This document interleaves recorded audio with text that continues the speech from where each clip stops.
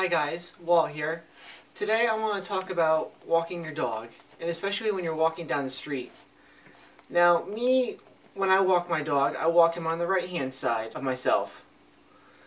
And I go with the flow of traffic. Gets me a little bit when I see people walking their dogs uh, against the flow of traffic. I mean, what does that say to say to yourself? Does it mean to me it says that you value your life over pets. And that if a car were to come, you can't move quick enough to get yourself and your pet out of the way.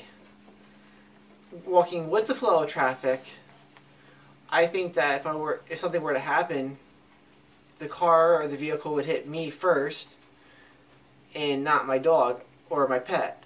Yeah, I mean that that says a lot. It says that maybe that I don't think too much of myself, but I think it says that I would rather get hit first before my pet.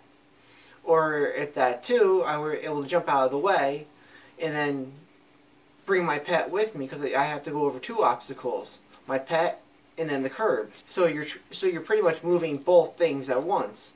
Weren't we taught as growing up that riding a bike or when you're walking on the road, you go with the flow of traffic, not against? Very seldom do I see bikers going against the flow of traffic. And I saw it today once again, and I just figured I had to bring it up because I just want to know what makes you think walking on the opposite side of the road against traffic is better than walking with it.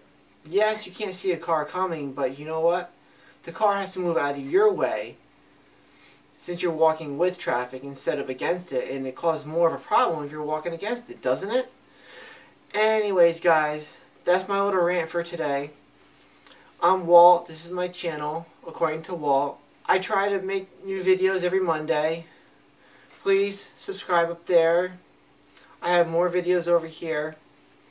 And like always, leave a comment down below. And I will see you guys next Monday.